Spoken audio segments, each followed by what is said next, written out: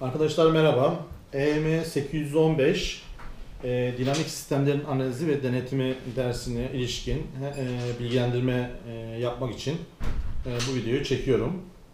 E, bilindiği üzere e, 6 hafta boyunca yüz yüze eğitim gerçekleştirdik bu de- dersimiz için ve bu dersimizde bazı hususlara değindik. Bundan sonraki dersimizin bundan sonraki sürecini ise uzaktan eğitimiyle götüreceğiz, işleyeceğiz ve uzaktan eğitimde ne- neler yapacağız, e, neler proje olarak, dersin değerlendirmesi olarak neler yapacağız bunların üzerinde duracağım ve size e, bunun için bir bilgilendirme videosu çekmeye ihtiyacı hissettim.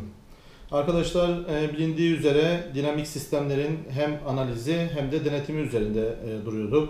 Öncelikle e, bir e, sistem dinamiği nedir? Buna bir giriş e, yapmıştık ve sistem dinamikleri üzerinde yine dersin e, müfredatı içerisinde ne yapılıyordu? İşleniyordu.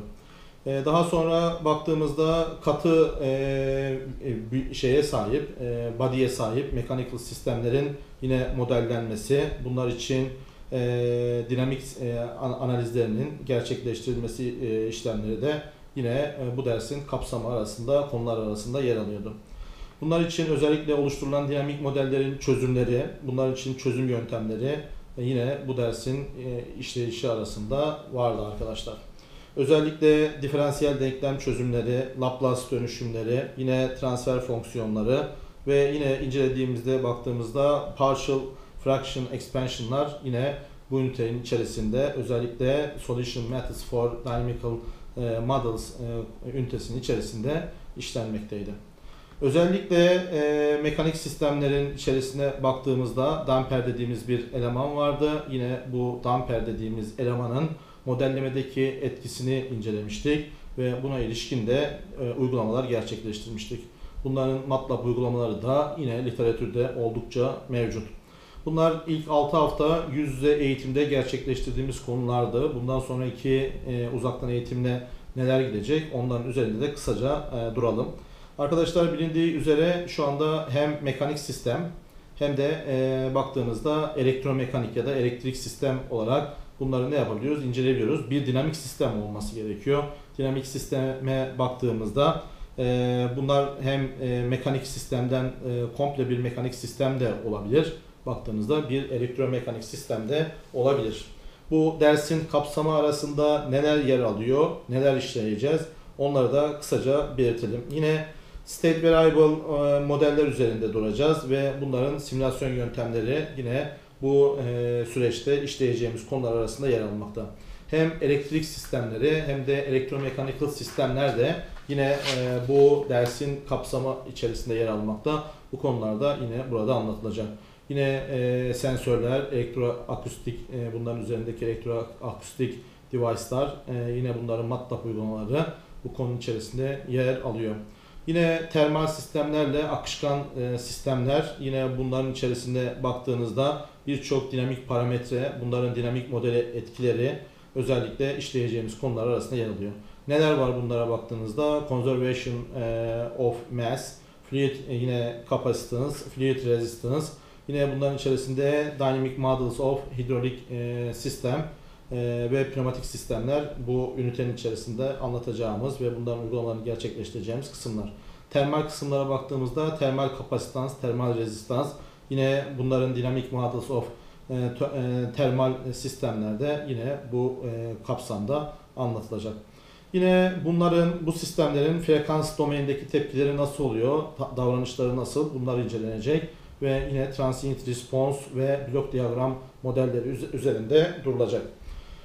Bunların denetimine geldiğimizde e, temel bir denetim o da feedback control. Buna bir giriş yapacağız. Özellikle closed e, loop dediğimiz kapalı döngü kontrol sistemleri, kontrol sisteminin terminolojisinden ve yine kontrol sistemlerinin modellenmesi ve temel olarak kullanacağımız PID kontrol sistem algoritmaları üzerinde duracağız ve e, bu kontrol sisteminin analizinde gerçekleştirmiş olacağız. Yine first order plans'ler için bir controller tasarlama, kontrol etme bu süreci. Yine second order e, plans'ler için de yine bir kontrol etme süreci bu e, konu kapsamında, bu ünite kapsamında gerçekleştirilecek arkadaşlar. Zaman yeterse bunların e, root locus davranışları da incelenmesi planıyor, planlanıyor bode diyagramları açısından. Ancak bunlara girmeden önce e, özellikle benim üzerimde durduğum bir başka konu ise vibration application özellikle titreşim uygulamaları bunların üzerinde detaylı olarak duracağız ve zaten uygulamalarımızı da projelerimizi de özellikle ara sınav için gerçekleştireceğimiz projeyi de bunun üzerinden gerçekleştireceğiz. Temelde baktığımızda evet e, bir vibra- vibrasyon e, etkisi nedir? Absorbe eden sistemlerin dinamik sistem üzerinde, dinamik modeller üzerinde etkisi neler, nelerdir? Yine bu vibration sistemlerin modları nelerdir? Yine aktif vibration sistemler nelerdir? Bunları da ne yapacağız? Bu konular içerisinde inceleyeceğiz. Bir diğer konu ise yine özellikle projemizin hem e, ara dönem, yani ara sınav projesinde e, ve e, dönem sonu projesi için gerekli olan bir başka konu ise yine nonlinear vibration konusu. Bunu da detaylı olarak bunun üzerinde inceleyeceğiz. Bilindiği gibi dersin değerlendirmesini dönemin başında size söylemiştim. E, Bir ara sınavımız olacak, bir de dönem sonu sınavımız olacak. Ara sınavımız yine take-home şeklinde, dönem sonu sınavımız da take-home şeklinde olacaktı. Herhangi bir değişiklik bunda söz konusu değil. Bunların nasıl yapılacağına, uygulamasının, sınavların nasıl gerçekleştirileceğine ilişkin YÖK ve Üniversite Senatosu'nca bir karar geldiğinde o kararı da ben size buradan duyuracağım ve onun uygulamasını e, ve nasıl e, ic- icra edeceğimizi size bilgisini aktaracağım. Burada arkadaşlar e, özellikle e, projelerde nelere dikkat etmemiz gerekiyor onu kısaca söyleyelim. Bir tane setup'ımız olacak, sistemimiz olacak, bunun setup'ı olacak. Bu setup üzerinden e, mümkünse verileri alacağız. Hem titreşim verisi, bu setup'ımız aynı zamanda dinamik bir sistem olacak. Tamam mı? Bunun üzerindeki verileri alacağız. Aldıktan sonra bunlara e, bu titreşimlerin dinamik sistem modeli üzerindeki etkisi nedir? Bunu inceleyeceğiz. Daha sonra ise bu titreşimi azalttığımızda dinamik sistemin modelinde ve kontrolünde ne tür değişiklikler oluyor? Bunları da detaylı olarak inceleme fırsatı elde edeceğiz. Ee, Değerlendirme, dersin değerlendirmesinin bu şekilde olduğunu söyledim. Eğer ki herhangi bir sorunuz olduğunda, derse ilişkin probleminiz olduğunda e, yine telefonumu biliyorsunuz. Telefonumda WhatsApp aracılığıyla e, ulaşabileceğiniz gibi yine mail aracılığıyla, e, posta aracılığıyla ulaşabilirsiniz. Sistemde de zaten mail adresim mevcut. aytacaltan.beyun.tr Sorularınızı buradan iletebilirsiniz.